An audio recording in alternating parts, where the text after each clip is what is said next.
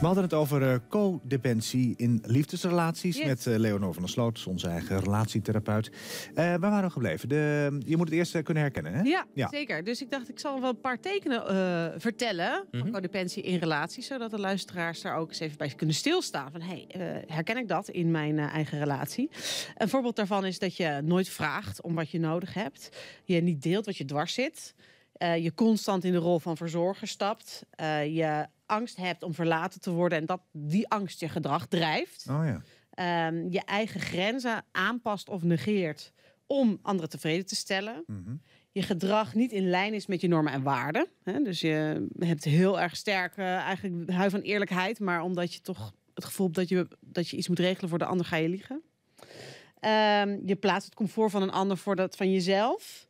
Je spreekt je niet uit eh, als je vanuit angst voor conflicten.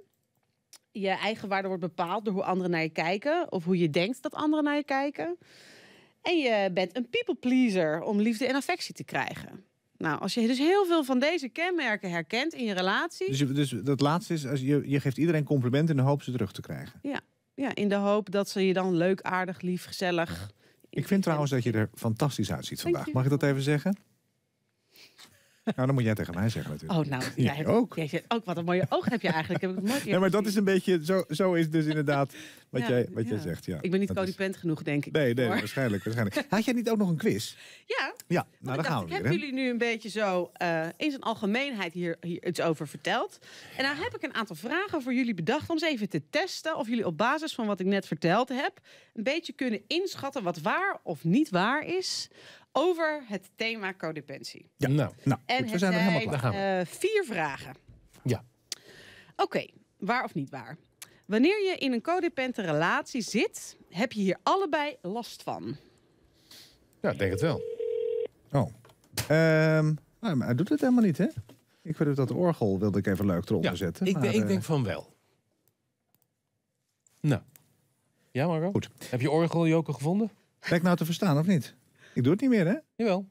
Ja, nou, bij mij werkt helemaal niet. Hm. Nou, Nou. goed, sorry. Wat, wat, wat was de vraag? Ik, De ik vraag ben was- dus- Ja, Wanneer je in een codependente relatie zit, heb je daar allebei last van. eh, dat hoeft niet, denk ik. Je hoeft er niet allebei last van te hebben. Eén keer waar, één keer niet waar. Nou, en je hebt er allebei de last van. punten gaan naar Ja. Arnoud. Marco. Oh, het is niet waar? Het is niet waar. Oh. Want Oh. eh, de, degene die eh, niet de codependente hechting heeft ontwikkeld in het leven, hoeft er niet per se last van te hebben dat de ander zo heel erg verzorgend en waarderend en meebewegend is. Je hoeft het ook niet altijd door te hebben. Oh. Ehm, maar goed, wie wil er nou in een relatie zitten met iemand die niet zijn meest authentieke zelf kan zijn? Dus Ja. dat is natuurlijk wel een probleem. Je hoeft er niet per se last van te hebben. Nou, als je echt heel erg veel van iemand houdt, dan kun je dat voor lief nemen dat iemand zo is. Dat je partner Ja, zo Of is. dan zeg je, laten we daar wat aan doen. En Ja. laat me eh, je helpen om hier overheen te komen. Vraag 2. Vraag 2. Elke relatie heeft kenmerken van codependentie. Ja, dat wel. Uiteindelijk heeft elke relatie daar kenmerken van. Ja. In meer of mindere mate. Helemaal waar. Heel goed. Het is ook belangrijk om dat even te benoemen. Want al die voorbeelden die ik net gaf... misschien denken mensen wel... oh jee, eh, ik heb een codependente relatie, paniek. Dat hoeft dus niet zo te zijn. Eh, el- in elke relatie moet je een beetje invloed hebben op elkaar. is ook een teken van een goede relatie. Ja. Dus raak niet meteen in paniek. Nee, goed. Eh, de vierde, eh, derde vraag. Het is moeilijk van een codependente relatie af te komen. Eh, moet ik even denken. Ja, is dat Ja, dan voor- voor, voor degene welke die... kant? Ja, Ja. precies.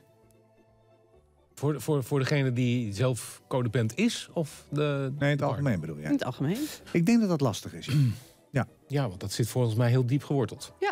Dat is, heel, dat is zeker heel erg lastig. Zelfs als je zou breken met de relatie. Zonder dus inderdaad therapie te doen of iets aan dat Ja. eh, interne gevoel van ik moet een ander, een ander moet mij aardig vinden, daar iets aan te doen. Ja. Heb je dus inderdaad, zoals we eerder al zeiden, heel grote kans dat je wederom in zo'n relatie terechtkomt. Ja. Ja. Want je bent gewoon geneigd om op zo'n manier eh, mensen, eh, bij mensen toenadering te zoeken. Oké. Dus eh, allebei één punt. Dankjewel. Laatste vraag. Ik heb Ja. misschien nog een bonusvraag. Oh. Perfectionisme kan een teken zijn van codependentie in een relatie. Nee. Nou, dat zou wel kunnen, ja. Dat denk ik wel. Punt voor Marco. Jij bent toch altijd zo goed in die quizjes, hè? Wat is de prijs vandaag eigenlijk? Geen prijs. Oh, ben je een prijs? Oh, ja, dan pak ik wel een chocolade. eer en roem. Een Ah, ja. enorme kennis over relaties. Ja. Ehm, in dit geval, vaak zie je dat mensen die dat codependent gedrag hebben, tegenover zich in de relatie een, per, een, een partner hebben die heel erg perfectionistisch is. Die dan ook heel erg op zoek zijn naar die validering vanuit het, het eh, ehm, people pleasen wat de ander doet. Ja. Dus dat twee, die twee passen heel goed bij elkaar. Het hoeft niet per se een kenmerk te zijn van een codependent relatie, maar het komt wel vaak voor. Oh, oké. Nou zat ik zo nog eens even te denken. Over Wat die denken bonusvraag. jullie? Bonusvraag. Ja, ja. Gewoon eens even, dus geen, geen goed of fout, maar ik ben benieuwd naar jullie gedachten hierover. Wat denken jullie van de, de relatie van Amber Heard en Johnny Depp? Oeh. Ja, juist heel erg.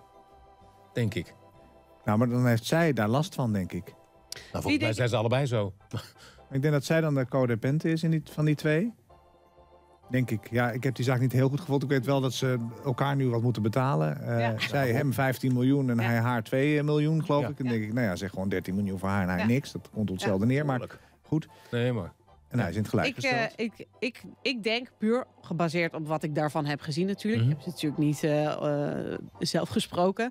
eh, denk ik inderdaad dat dat een codependente relatie was. ja. Waarbij ze allebei op een bepaalde manier heel erg niet aan het einde. Misschien want op een gegeven moment heeft Johnny Depp natuurlijk gezegd van nou ik wil niet meer. Ja.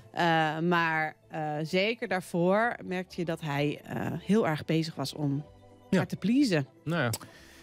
We hebben weer een hoop van je geleerd. En we weten nu ook wat codependentie in liefdesrelaties is. Dankjewel, Leonor. Weet je al welke quiz je volgende maand met ons gaat Nee, behandelen? dat moet ik altijd nog eventjes moet een beetje broeien hè, bij mij. We gaan het afwachten. Dankjewel voor je komst. En eh, fijne dag en tot de volgende Fijne keer. dag.